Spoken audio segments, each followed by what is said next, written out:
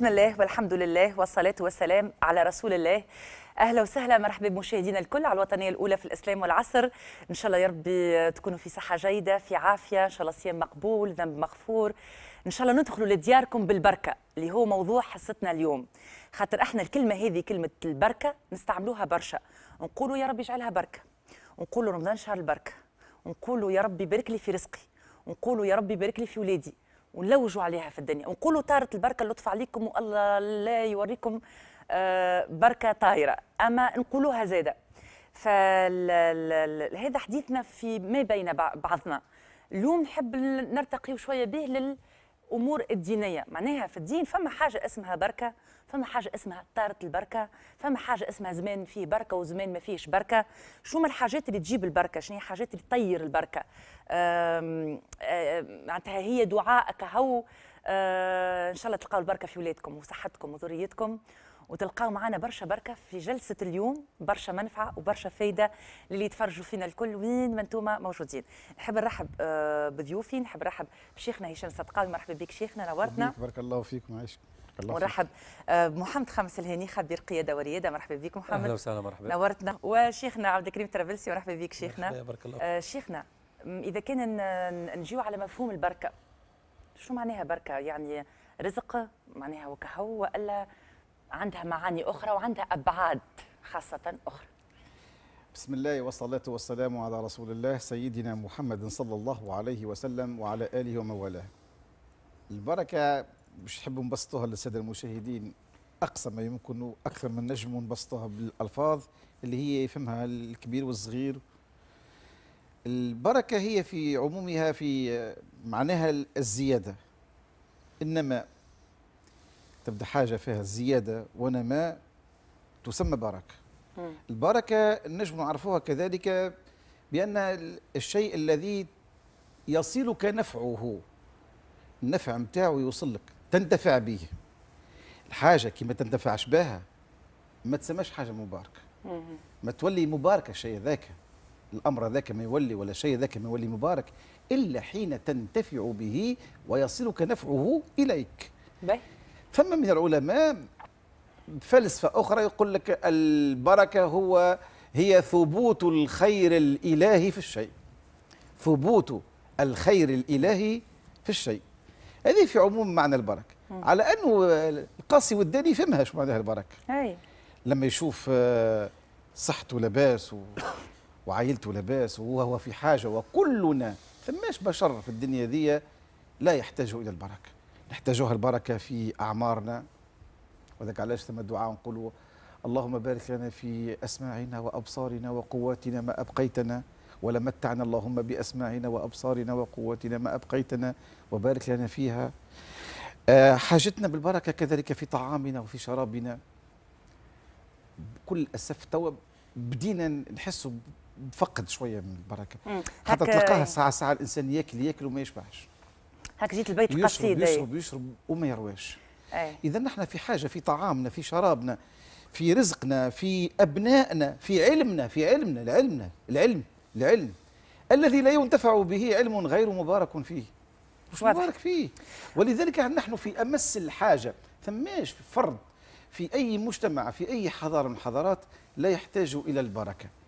هذه البركة هي الهدف المنشود نتاع كل الخلق. واضح. بقى عندها أسبابها وعندها شروطها طبعا. واضح. وأنت جيت على نقطة مهمة برشا وقت اللي قلت آه معناها في الزمان هذا بدينا ساعات ما نحسوهاش. وكان هذا سؤالي اللي باش يكون ليك شيخنا عبد الكريم طرابلسي أنتم معناها مع التوانسة مع المواطن التونسي آه من خلال لقائكم به في الجامع وغيره. تحس البركة طارت هالكلمة هذه بركة أي طارت. أي ولا ولا إحنا متطلباتنا كثرت وعيننا كبرت ما فهمتش.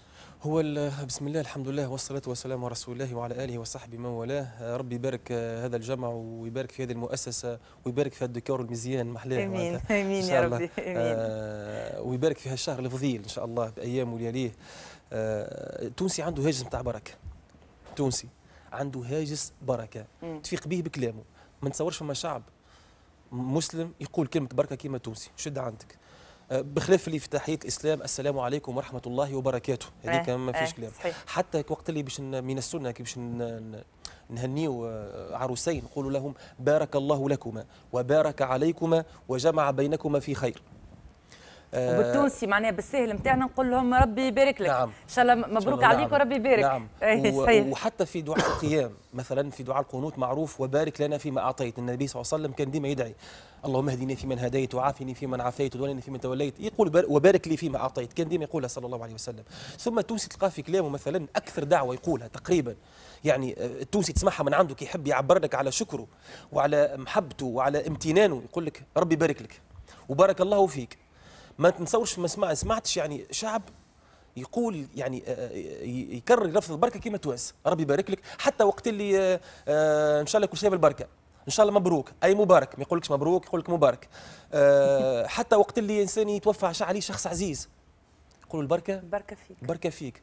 رغم أنه آه، علمنا النبي صلى الله عليه وسلم آه، يعني دعاء نقول لك هو يقول لك يقول لك البركة فيك. بالتونسي يقول بالتونسي يقول لك البركة فيك. يعني ديما التونسي يحب يقول أنه عنده هاجس نتاع بركة من غير حتى ما يشعر. علاش؟ بالكش حاسه اللي تفقدت علاش؟ لأنه هو آه، مش حتى كان تفقدت حتى كان عنده يحب يستحفظ عليها لأنه حاجة ثمينة. لأنه البركة شنو؟ هي معناتها أنه يمن بها برشا؟ يمن بها برشا ويبحث عليها.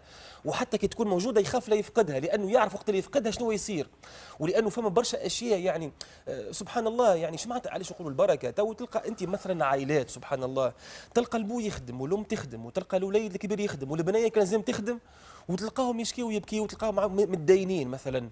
وساعات تلقى عائلة فيها كان البو يخدم فقط ومرته مثلا ما تخدمش مثلا. مثال عطيت أنا. ولاده يقراوا ولكن ما شاء الله سبحان الله يجي راس شهر يكون مريق لاباس ما عندوش إشكال. والآخرين تلقاهم يعني ما شاء الله مجموعة عصبة من من الأفراد يشتغلون ويعملون ولكن يقول لك نجري ما نلحق. مو الكلمة ذي. يقول لك نجري ما نلحق. البركة طارت سبحان الله. يقول لك لا البركة بإذن الله ما طارتش البركة موجوده تكونوا واضحين. وديما إحنا كلمة يقولوها يقول لك وشوف التونسي يعني يعطيك كلمة أخرى. يقول لك ما زالت البركة. حتى. وقت اللي واحد يبدأ كبير في العمر ولا كذا باش يقولوا باش يطمنوه باش يقول له مازالت البركة, البركة. اذا البركة وربي يعطينا البركة إن شاء الله. وربي يعطينا البركة. بي وربي يعطينا إن شاء الله بركة نعم. الشهر هذايا. وندخلوا لدياركم بالبركة وندخلوا لدياركم بالخير. أنتم في التنمية البشرية كيفاش تترجموا الكلمة ذي والله هو في الحقيقة بحثت أنا حتى في المعاجم ولا في القواميس العربية وحتى الأجنبية في أكثر من لغة. الكلمة هذه تهتم خاصة بجانب روحاني spirituel وديني. ما فيهاش تفسير عملي. وخاصة في الدين الإسلامي عندها مفهوم رائع جدا. ونلقاو الاستعمالات في الآيات ممتازة ومختلفة. زيتونة مباركة الذي باركنا حوله. donc المباركة من عند شكون؟ من عند الخالق. هو اللي يبارك. نجموا نفهمها بأنه هو اللي يوفق الشخص هو اللي يساند هو اللي أيد وهو اللي يعطي. وذي اللي بعدنا عليه شوي. ساعات نسمع موظف يقول عرفي فرح بيا ورقاني. مش هو. هو مم. كان وسيط ووسيلة وجزء. لكن شكون العاطي واللي سهل واللي يرزق هو الخالق؟ كي نبدأو نتناساو أو ننسى من أعطى الأول وقتها بمفهوم التونسي نبدأو نفقدوا مفهوم البركة. البركة هي بصراحة المساندة. بصراحة بارك الله فيك. بالحق بالحق والله يا آه، محمد محلاها الكلمة هذية قديش إحنا نجاحاتنا وفشل نتاعنا نربطوهم بالأشخاص. وقت اللي العاطي ربي والرزاق ربي. ولا عندك علاش لا باش تقفف الفلان؟ ولا باش تعطي راسك الفلتان؟ ولا باش تذل العلان؟ وقت اللي عندك رب كريم. هذا هو. المباركة هي معنى أو مفهوم رباني للخالق. بارك في العمل. في العمل بارك في النشء بارك في الزوج والزوجة اللي هما رزق. بارك في الوقت. فما شكون في شهر يقوم بالمهمة ولا بالمجهود صحيح. ولا بالأهداف. فما شكون عنده 20 سنة يحب يحقق هدف. صحيح. دونك هنا مباركة ربانية. شنو نقول؟ وما توفيقي إلا بالله رب العالمين. أنا عملت اللي عليه. وربي باش يوفقني إذا كان هو رضا وهو يعلم الغيب والمستقبل. ساعات راهو ربي يحل بيبان أنا ما كنتش عندي انفتح خاطر أنا توكلت وعزمت ونويت الخير. وساعات نعمل كل ما يلزم وربي ما وفقنيش. وأكيد فيها خير. دونك فما كلمات نحن نستعيروها في المخزون اللغوي التونسي. لكن المعنى نتاعها عميق جدا.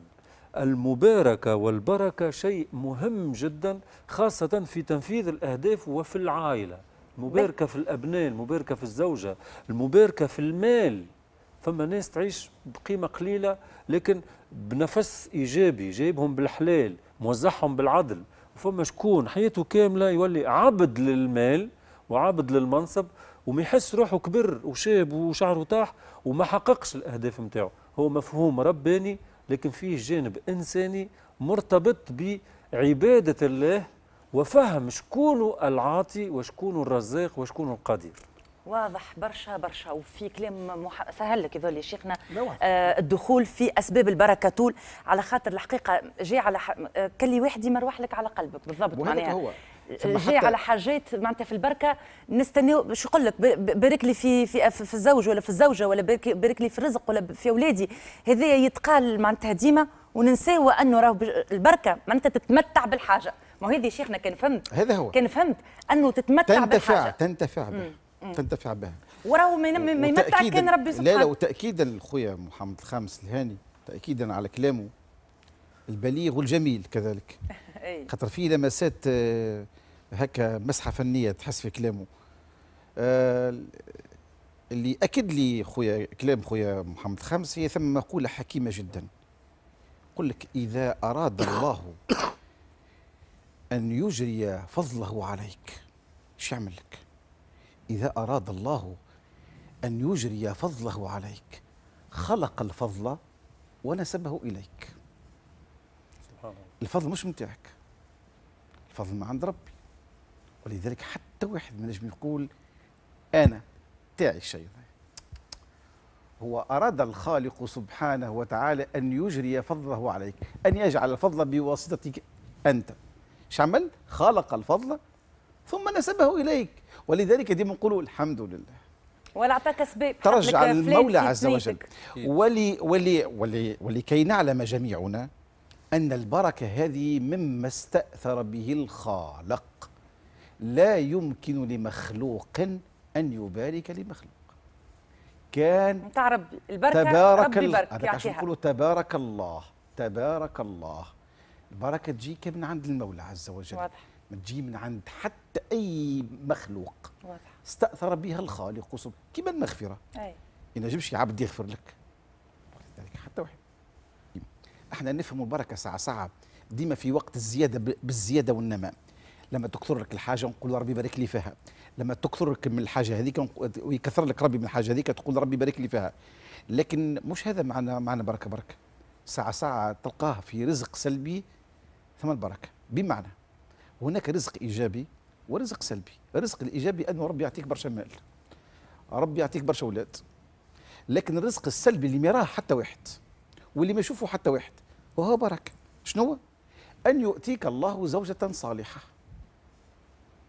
زوجة تعرف التدبير في الدار تحسن التدبير في الدار في المنزل. وترشد لك الاستهلاك نتاعك. امرأة صالحة بأتم معنى الكلمة هذه بركة. وهذه من أسباب البركة. أن يؤتيك الله سبحانه وأن يرزقك الله زوجة صالحة ابنا صالحا. ها؟ مش برشا أولاد عندك ولد صالح بركة. بركة من عند المولى عز وجل سبحانه وتعالى. ما تراهاش أنت. أن يقيك الله أمراض معينة كان باش تجيك. بركة. رزق سلبي اسم هذه. أن يقيك الله أمراض ما تجيكش أمراض تبدأ مو كما كما قال النبي صلى الله عليه وسلم أن تصبح معافا في جسدك ها؟ آه، آمنا في سربك. آه، واجدا قوت يومك. هذه بركة بركة من عند الخالق. مش الكثرة هي البركة راهو. إحنا نفهموها في معنى الكثرة. وهي غالطة مفهوم غلط. البركة كل شيء كما قال خويا محمد الخامس يوفقك فيه ربي سبحانه وتعالى ولا تنتفع به. من أسباب البركة؟ عندنا زوز, زوز أقسام من, الأسباب. عندنا أقسام شرعية وأقسام دنيوية. قسم شرعي في الأسباب نتاع البركة وقسم دنيوي. قس- أقسام الشرعية تنقسم إلى ثم أسباب عامة وأسباب خاصة. من الأسباب العامة اللي لاستجلاب البركة هي التقوى البعد عن المعاصي. لقوله تعالى بعد أعوذ بالله من الشيطان الرجيم بسم الله الرحمن الرحيم ولو أن أهل القرى آمنوا واتقوا آمنوا واتقوا. لفتحنا عليهم بركات من السماء والأرض. اذا من أسباب الع- الشرعية العامة لاستجلاب البركة هي شنية؟ التقوى والبعد عن المعاصي. كذلك من الأسباب الشرعية لاستجلاب ال- ال- البركة هي الدعاء. اللي آه، قلنا عليه في حصة فارطة جبدنا على الدعاء وركزنا على الدعاء مليح. الدعاء من أبلغ أسباب استجلاب البركة. أن تدعو الله في أن يبارك لك في رزقك وفي عمرك وفي أبنائك وفي ذريتك وفي علمك وفي كل شيء. في كل شيء تطلب ربي من عند ربي سبحانه وتعالى البركة. ثم ثم عندنا أسباب خاصة. تنجيوها تباعا في الحصه دي إن شاء الله بحول الله. إحنا باش نجيو لل- للأسباب نتاع ال- البركة و- والحاجات اللي تجلب البركة. ومعاه محمد خامس الهيني خاطر خبير في القيادة والريادة. بعد شوية باش نعطيكم حتى السيد اللي ما فيهش السلوك هذه أو السيدة اللي ما فيهاش السلوك هذه أو ولدي اللي يتفرج فيا ونحب نربيه على السلوك هذا نحب نربيه على أنه الكلمة هذه ما تقعدش حد كلمة فتمشي إلى ت- تولي تولي عمل معناها. نفعل بالحق باش نجيب البركة لداري والأهلي والمالية كيفاش نجموا نعملوا فما تدريبات خاصة أنتم تقدموها لكن خليني نكمل في الأسباب. أول سبب قال نعم. آه، آه، في الأسباب العامة هي التقوى نعم. والبعد عن آه، المعاصي والبعد عن المعاصي الدعاء. والدعاء. باش ربي يجيب لك البركة. به شنو الحاجات الأخرى اللي تجيب لي البركة في الدنيا؟ طيب نعم ال- البركة رزق فالرزق معقود في السماء والبركة معقودة في القلب. آه، مرة يقول النبي صلى الله عليه وسلم في حديث صحيح آه، سيدنا أيوب عليه السلام يغتسل عريانا فخر عليه جراد من ذهب هبط عليه جراد من ذهب. فبدأ يحتثي الج- الجراد في ثوبه. جراد مش كما جراد جراد ذهب. ذهب. فبدأ يلم في الثياب متاعه. إيه؟ فالله سبحانه وتعالى قال له يا أيوب ألم أغنك عما ترى؟ يا أخي ما أغنيتكش؟ يا أخي هذا قال العلماء هذا يدل أنه ال- الحادثة هذه وقعت بعد الابتلاء اللي صار لسيدنا أيوب. ربي ابتلاء ابتلاء عظيم في الجسد وفي الصحة متاعه. أي. فربي قال له مش أغنيتك وأعطيتك وأعطيتك الصحة وأعطيتك المال وأعطيتك وأعطيتك. وش ما زدت تعمل بالذهب. فقال له ربي نعم يا ربي وعزتك ولكن لا غنى بي عن بركتك. سبحان يا ربي علاش تحب أن نستغنى عن بركتك؟ سبحان الله. وذاك علاش ربي قال لهنا ولو أن أهل القرى آمنوا واتقوا لفتحنا عليهم بركات. ما قالش مثلا ماء أو لفتحنا لأن البركة من الله سبحانه وتعالى. ليه؟ على خاطرها أشمل نعم. وأقوى ولأن من هي رزق. العطاء نعم. معناتها هي رزق. أبلغ. هي معناها مرحله أختي- بعد العطاء. أختي ريم يعني البركة رزق. اليوم حديثنا اليوم بالنسبة للناس اللي تفهم كان بال بالاله الحاسبة بالكالكولاتريس واللي تفهم كان بالآ وبا وكذا راهي مش باش يفهموا الموضوع نتاع اليوم. باش نكونوا واضحين. راهي اليوم نحكيو عن رزق غيبي معناتها اللي باش يحب يفهم كان بالأمور نتاع إيه. الحساب قد قد كما قلت لك إيه. بالاله الحاسبة إيه. ما هو مش, مش هذا. درس اليوم مش باش يفهم مش هذا. إذا كان يحب يفهم درس اليوم راهي نتحدثوا على حاجة غيبية نحكيو على البركة. على بركة اللي قال النبي صلى الله عليه وسلم في حاجات بسيطة تراها بسيطة لكن عندها معنى في أي. مثلا نعطيك حاجة أخرى نستسمحك شيخنا ولهنا رانا نحكيو عليه خاطر شهر رمضان الفضيل نعم. فيه برشا بركات أنا جايينهم هل. نعطيك. تتم في كلام التقوى التقوى حاجة شاملة نعطيك مثال في التقوى قالها النبي صلى الله عليه وسلم مهم جدا يقول عليه الصلاة والسلام البيعان بالخيار ما لم يتفرقا فإن بينا وصدقا بورك لهما في بيعهما وإن كتما محقت بركة بيعهما وإن. كتم وكذب آه. محقت يعني النبي صلى الله عليه وسلم اختار لفظين في البركة يعني بورك لهما في بيعهما وفي المقابل محقت بركة بيعهما. ما فما حاجتين فما ربي يعطي البركة ولا يمحق البركة. وقتاش ربي يعطي البركة لهنا؟ قال فإن بين وصدق. يعني وقت اللي في المعاملة نتاعو يجي يبيع مثلا السيارة هذه مش يبيعها مثلا هي ماشية 30000 وهو حاط في ال compteur ماشية 10000 ما غشش. هذا هذا غش. الوضوح يعني لازم والصدق يكون واضح لهنا يعني ما يغشش. فعدم الغش عدم التطفيف عدم ال ال ال ال ال ال يعني يكون معاملة فيها صدق وفيها بيان. فربي يبارك. حتى يقول لك ربحت 5000 وربح والله تربح 20000 وتربح مليار ولكن ربي ما يباركش فيه. وتربح. دينار واحد ربي يبارك فيه. تعرف آه عبد الله بن منصور يعني ابن أبو جعفر المنصور ال- هذا الخليفة. من خلفاء يعني الدولة ال- العباسية. فتخلى عليه مقاتل ابن سليمان. فمقاتل ابن سليمان شيخ. فأبو جعفر المنصور ملك وما زال يعني المنصب نتاعو فرحان وناس تهني فيه. تخلى عليه مقاتل ابن سليمان. فقال ياك هو جاب شي ناقص عين هذا تو هاو جاب يبدأ يوعظ ويبدأ يعطي في النصائح نتاعو فبادره أبو جعفر المنصور. مباشرة قال له هيا عظنا يا مقاتل. هيا هات برا اعطينا الكلمة نتاعك فقال له مقاتل أعظك بما سمعت أم أعظك بما رأيت؟ فما فرق. مش كما تسمع كما تشوف. قال له عظني بما سمعت بما رأيت. أهم حاجة أبلغ حاجة مش كما سمعت. قالوا. قالوا إيه؟ قال له باش يعطيه توا لهنا هو ما هو ملك باش يعطيه موعظة على قياسه. موعظة نتاعو مش باش يعطيه موعظة نتاع عابد وزاهد باش يعطيه موعظة نتاع شكون؟ موعظه نتاع تخص بالملوك. شفت الموعظة الهم نتاعها وين؟ في برشا دروس الحادثه ذي فقال له يا يا أمير يا أمير المؤمنين يا خليفة. قل له قال له رأيت عمر ابن عبد العزيز وهو من كبار خلفاء بني أمية. يقول رأيته وقد ترك تسع عشر درهما كفن في أربع و ولما أقبر بأربع وترك تسع أولاد. هك تسع أولاد هذوكم خذاو 11 دينار تفرقوا عليهم الكل. بينما هشام ابن عبد الملك قال له ترك من من الأموال زوجة واحدة. زوجة واحدة اللي هي في الميراث تاخذ ثمن من أربع زوجات اللي عنده الواحدة منهم عندها 80 ألف دينار بخلاف الضياع وبخلاف القصور. يقول له والله يا أمير المؤمنين رأيت في يوم واحد ابن عمر ابن عبد العزيز وهو يسير على مئة فرس في سبيل الله ورأيت ابن هشام ابن عبد الملك في الطريق وهو يسأل الناس. وهذه ساقها الإمام الشيخ شعراوي رحمه الله في تفسيره. يعني حادثة تبين لك أهمية وقيمة البركة. اثنين حاجات بسيطة إحنا في شهر رمضان. إيه. إنسان كي ياكل في رمضان يتقنع يعدي نهار كامل يشبع سبحان الله من الأشياء المهمة. الاجتماع على طاولة واحدة. فيها بركة؟ اي نعم النبي صلى الله عليه وسلم يقول كلوا جميعا ولا تفرقوا فإن البركة في الجماعة. يجيش لبالك ناس بكري هذه يعلموها ومن قبل أيه. يشبيه تو كل واحد حط وحده حط وحده ما حتى بركة تطير في الماكلة. أيه. كانت الناس قبل كلها تجتمع على طاولة واحدة. في شهر رمضان هنا ناكلوا يا أخي في رمضان فما حاجة زايدة ناكلوهاش. البريك ناكلوه حتى في سائر الأيام. شنو اللي فما جديد؟ الاجتماع على الطاولة. هذاك فيه بركة. النبي صلى الله عليه وسلم قال كلوا جميعا ولا لا، تفرقوا البركة الواحد. في الجماعة. والإناء الواحد. نعم هو جميعا هذا. بمعنى أنه جميعا وما تتفرقوش لأن البركة في الجماعة.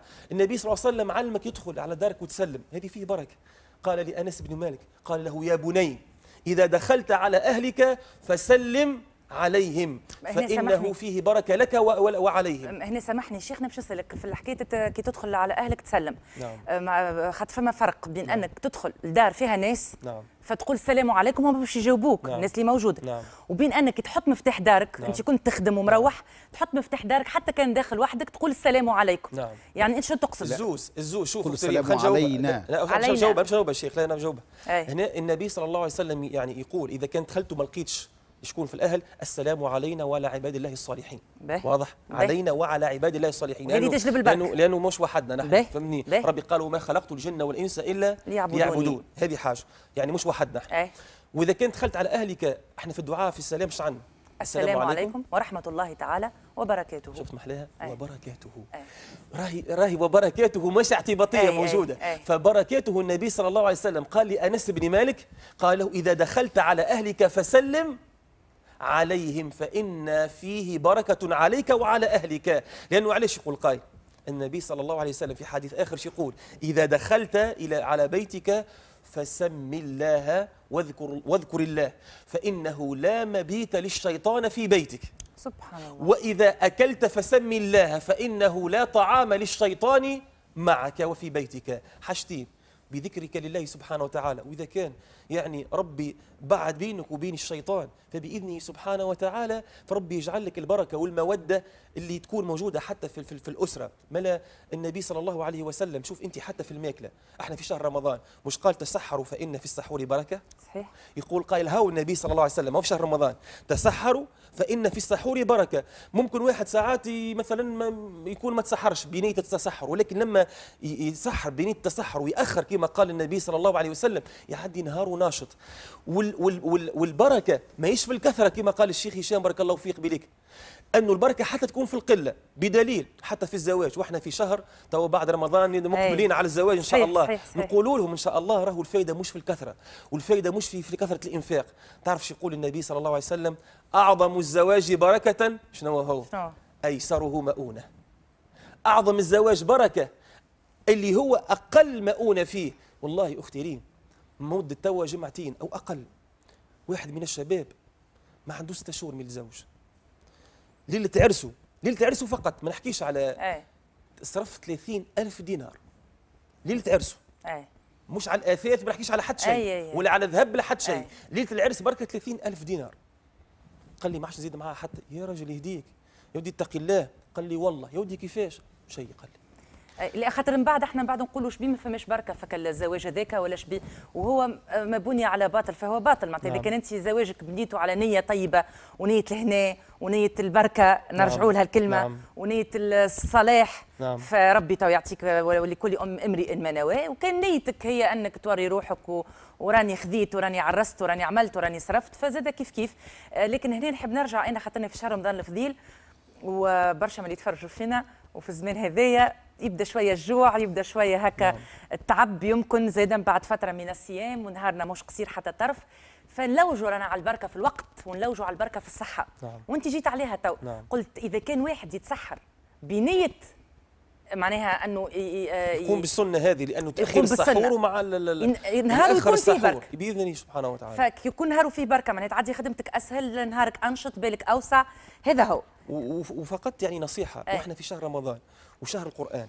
برشا ناس يقول لك يعني آه، آه، شهر يعني في في يقول لك ما لقيتش بركة في الوقت. مهم جدا بركة في الوقت. نقول له قداش خصصت وقت من وقتك للقرآن؟ تقول لي شو مدخل هذا؟ نقول لك القرآن يعمل كتاب مبارك. ربي سماه كتاب مبارك. خصص خمسة دقائق عشرة دقائق نص ساعة باللي تجود به ماهوش يعني قليل وخسارة في كتاب ربي سبحانه وتعالى. تو تشوفك البركة. انت نهار كامل ما- ما حلتش مصحف. تقول لي ما لقيتش وقت. لقيت وقت الفيسبوك واليوتيوب. والقعدة في القهوة وما لقيتش وقت باش تحل نص ساعة باش تقرأ قرآن. والله جرب. تدرج. ورد يومي. تدرج. درجة أنا قلت له بخمس دقائق من الأول. درج خمسة دقائق تقرأ قرآن بتدبر وبتمعن. والله العظيم بإذنه سبحانه وتعالى. تو ربي سبحانه وتعالى يبارك لك في وقتك إن شاء الله وتلقى أنه يعني ربي يعطيك بركة في الوقت. ربي كما قال باهي. قبليك الأستاذ نختم بهذه فقط أختي ريم الإمام النووي. شيخ قداش عاش؟ ما فاتش 40 سنة. 40 سنة وشوية. الإمام النووي 48. عنده يعني 40 ونيف الإمام النووي وما أدراك تعرف أكثر أكثر الكتب اللي تتباع في العالم الإسلامي بعد القرآن شنو هو؟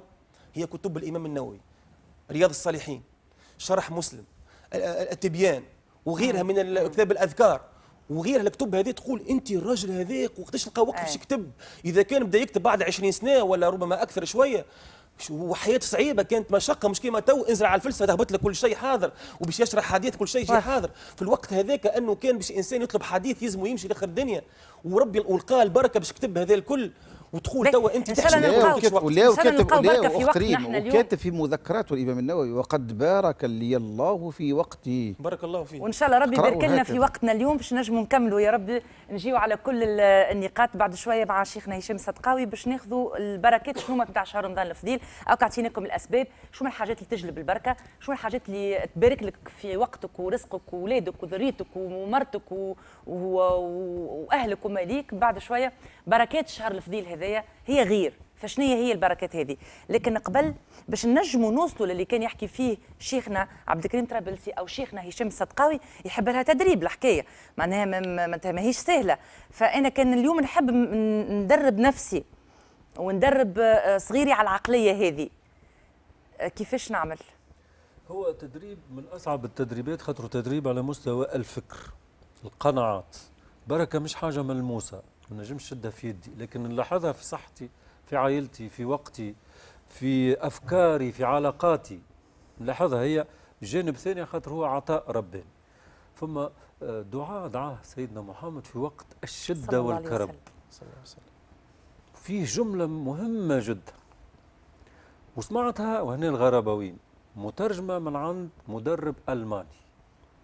بالعربية تتقال إن لم يكن بك غضب علي فلا أبالي. هذا يا سيدي في آه، في الطائف في دعاء الطائف. إكزاكتومون سيدنا محمد خارج من الظلم تاع مكة. شفناها الكل في, في الرسالة ولو أنه الرسالة حاجة أخرى. ما باهي. باهي آه. لكن دعاء مهم ياسر. حياة الإنسان.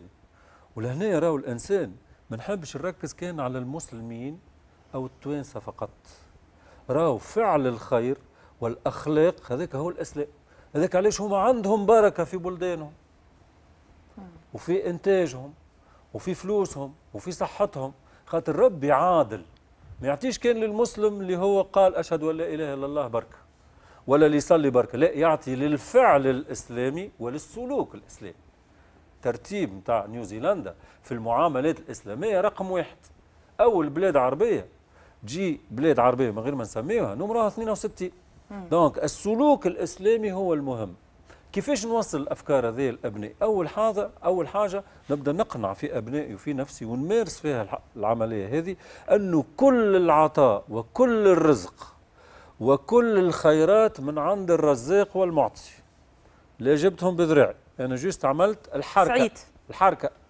نحن نقولوها مماتي أنا كانت قلت لي تقول لي أنت عليك بالحركة وربي نعم، عليه بالبركة. بالبركة. ثاني حاجة أنه كل الصعوبات اللي تعرضت لها ابتلاءات وفيها حكمة وتدبير رباني. شو القوه وين نولي عندي الرضا. وعندي قناعة أخرى اللي هي قناعة أنه مسير في الخير. ربي يعطي كان الخير. كل الخير يجي من ربي وكل الحاجات مضرة تجي كان من بنادم راهو. ربي ما يضرش. حتى كان منع عليك وإلا جاء مرض راهو عنده تدبير باش يعطيك ما أحسن. donc نبدأ نعطي لابني أنا باش نعطيه السلوك. نبدأ نعطيه أنه كل شيء من عند ربي لكن هذا ما نتيحوش في ال piège الآخر اللي هو عكس البركة اللي هي موجودة في بلادنا للأسف البركة. بارك في البيرو نتاعو بال cravate نتاعو سيد الوزير ويحب تونس يولي عندها منوال تنموي. بارك في البيرو نتاعو السيد البنكاجي ويحب الوليدات يمشيو يعملوا مشاريع. بارك في دارو السيد سي السيد ويحب ولاده يطلعوا قارين ويطلعوا عاقلين. لا فما مجهود فما effort. فما نسق نتاع عمل اللي لازمني نقوم به. de telle façon يولي الابن يقتنع قناعة فكرية ويفرح بالبركة اللي يعطيها له ربي والأقوى أنه يوزعها على الأحباء. فما ناس ربي يعطيهم البركة والخيرات. يكنزون الذهب والفضة ويولي عبد للفلوس. وفما ناس وهل من مزيد؟ وهل من مزيد؟ فما ناس تجي شوية خير يفرقوا وعن طيب خاطر. ربي شنو يعمل له؟ يفتح له سدود مش أبواب الخير. ولهنا الخير الكبير وهنا حتى قالوها مفكرين وفلاسفة الخير الكبير مش في الفلوس في الصحة في العلاقات الطيبة وفي الأثر الإيجابي. ما نحبش أنا شاب يوصل 80 سنة باش يفيق بها. لازم يفيق بها كيما أسامة بن زيد عمره 18 سنة وفاق بها. لازم يفيق به وهو صغير قبل ال 40 سنة ويعرف قيمة الإنسان والمخلوق اللي خلقه ربي وبارك له في صحته وفي أفكاره. ثم على مستوى المعاملات باش نخدم بها معاك أنت جيت على آه، معناتها عقلية حلوة برشا. اللي راهو البركة هذه كما قال شيخنا يعطيها كان رب العالمين. أكيد. حتى حد ما نجم يعطيك البركة. ربي وحده يعطيك البركة. طيب وهو الرزاق في ال... في, ال... في ال... ال- الآني نفسه باهي يعني أنت يا شاب اللي تتفرج فيا ولا يا كبير يا صغير مراه راجل ايا كان يتفرج فيا. البركة يعطيها لك كان رب العالمين كان ربي صغاري على هذا. يعني أني أنا الإخلاص للمولى والصدق مع المولى وشهادة الحق للمولى. وما وما وربي عزيز يحب الإنسان العزيز فما نذلش على خاطر ربي عزيز أمرني باش نكون عزيز. فهذايا الكل يخليك ولائك يكون للمولى ما يكونش العرف ولا المدير ولا المسؤول كبير ولا حتى حد. يكون للمولى خاطر هو اللي باش يعطيك مش حد آخر باش يعطيك. فهذه مهمة برشا الحكاية تو. كان إحنا هذا كان غرسناه وفهمناه واستوعبناه وغرسناه عند صغارنا. تو ما عادش نلقاو كلا بين ظفرين وسامحوني في الكلمة. كلمة آه، فلان يقفف لفلان آه، فلان يقود لفلان فلان تو هذا ما عادش نلقاوه. آه، شيخنا شهر رمضان شهر مش بركة هو شهر بركات. شو معناها؟ شو معناها؟ شو نستنى منه معناها شهر رمضان؟ كي تقول لي هو شهر بركات. بركات. لأن البركة كذلك في ترشيد مفهومها. باش نصحح شوية بركة لخويا محمد خامس. شوية تصحيح هكا اي اي تفضل شيخ. مش كبير برشا. على كل حال. آه، شوف هي سميت بالبركات علاش؟ اولا ساعة لشمول البركة كل العطاء الرباني. لأن الله سبحانه وتعالى عندما خلق الأرض شوفوا الأصل الخلق العظيم. أن الله عندما خلق الأرض قبل أن يقدر فيها الأقوات إيش عمل فيها ربي؟ وضع فيها البركة باركنا فيها ثم قدر فيها أقواتها.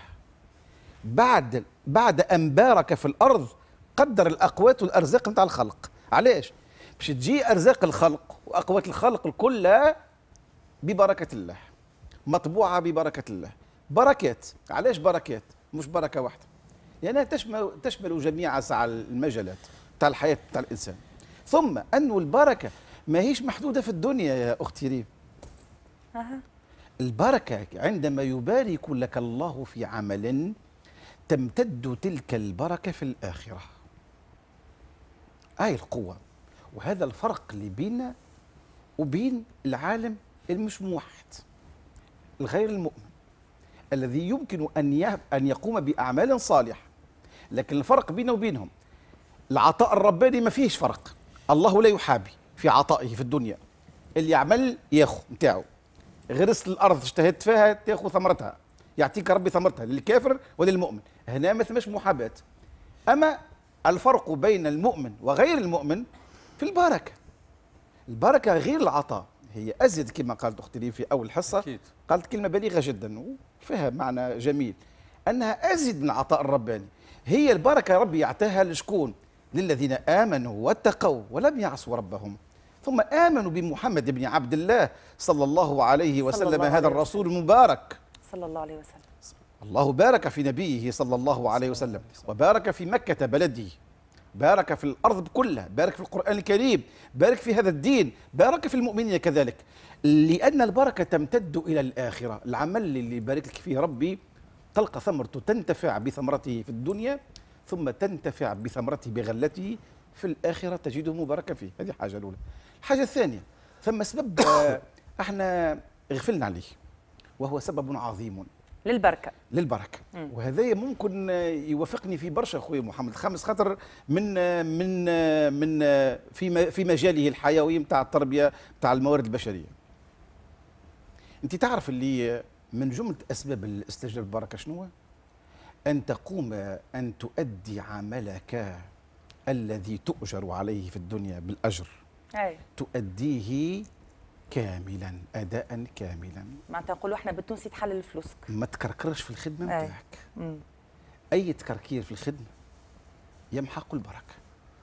وعندنا شاهد في قصة أبو حنيفة. جاء طفل شاب. قالوا يا أبا حنيفة راني أنا نخلص من عند العرف نتاعي وال... والأجر اللي نقبض فيه مش مكفيني. ما نلحق نلحق ما نشق.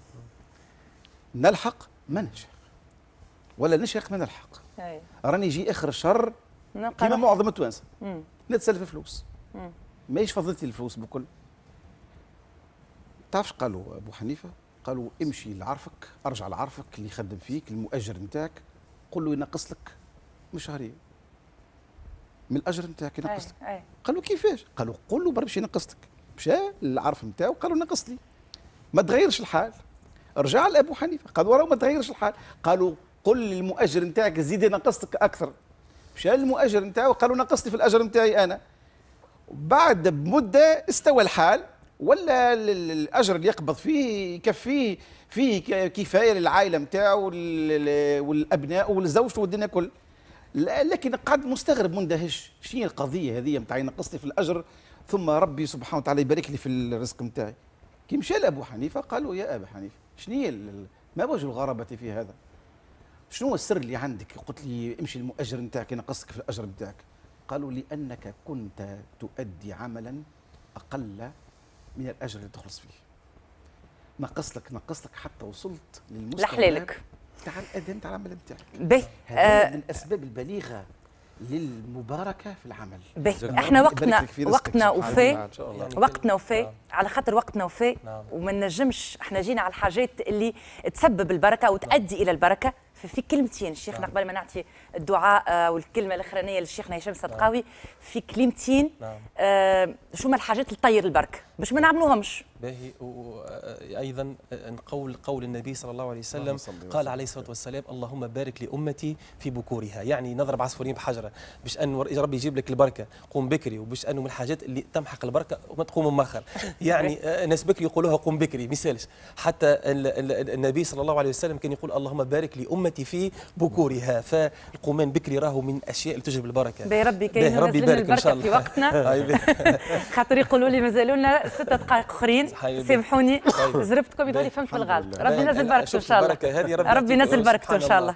الله عايز- خذ راحتك شيخنا طيب طيب أو ربي خلصنا بالحافظ. لا سبحان إن الله شاء الله، يا رب. الله- إحنا بدينا بكري زاد الحمد لله قال النبي صلى الله عليه وسلم اللهم بارك لأمتي في بكورها حتى أن بعض السلف وقيل أن القول عائشة قالت عجبت لمن ينام عن صلاة الفجر كيف يرزق؟ فقيل يرزقون ولكن تنزع البركة من رزقهم. يعني هذه مسألة مهمة جدا أن الإنسان وقت اللي قد ما يقوم بكري ويحاول أنه يجتهد باش أنه قد ما أنه ربي سبحانه وتعالى يفتح له أبواب الخير أكثر إن شاء الله. إجابة على سؤالك. سامحني نعم. شيخنا فما اللي ما يصليش ويتفرج فيا تويك نعم. وإحنا في شهر رمضان الفضيل ويا ربي معناها تهدينا وتهدي امته الكل. ربي يرزقهم. اما ربي يرزقهم. ولكن أنه البركة تكون معناتها يعني نقول لك أنا ما نصليش فما ما نقومش الفجر أنا نعم ربي سبحانه وتعالى يرزق. فالله سبحانه وتعالى قال وفي السماء رزقكم وما توعدون. ذاك علاش قلنا؟ قلنا الرزق معقود في السماء. ربي قال وفي السماء رزقكم وبينما البركة معقودة في القلب. علاش في القلب؟ لأنه البركة هي إيمان.